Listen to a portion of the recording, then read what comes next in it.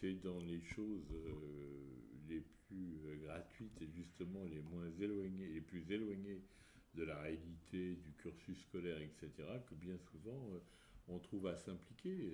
C'est le, c'est le, par exemple, c'est le cas de l'engagement au sens large du terme, associatif, politique, social. ça se passe en dehors de ce qu'on est en train de vous apprendre. Ils sortent de leur statut un peu, euh, je dirais, formaté d'élève simplement.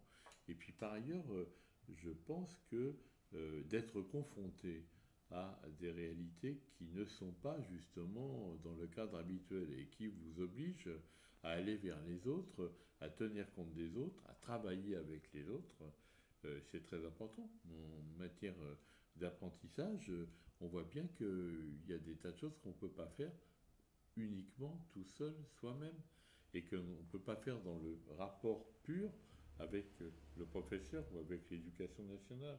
Donc ce genre d'exercice, et comme vous le disiez tout à l'heure, l'apprentissage de la diplomatie. La diplomatie, au fond, euh, euh, des élèves, euh, en théorie, n'en ont pas besoin. Mais le problème, c'est que dans votre vie entière, vous allez être confronté à des problèmes, soit parce qu'il il y a une dirais, une, prégnance particulière de certains problèmes internationaux, et on voit bien que quand il y a du terrorisme quelque part, ou quand il y a la guerre quelque part, euh, ben, c'est ça qui prend le, pas sur tout le reste. Et puis d'autre part, euh, la diplomatie, c'est aussi une manière d'être, une capacité de se maîtriser, mais en même temps, de bien savoir où on veut aller euh, pour aboutir. Il y a des gens qui ne savent pas négocier. Il y a des gens, et pour eux, c'est ce que j'ai dit et puis rien d'autre.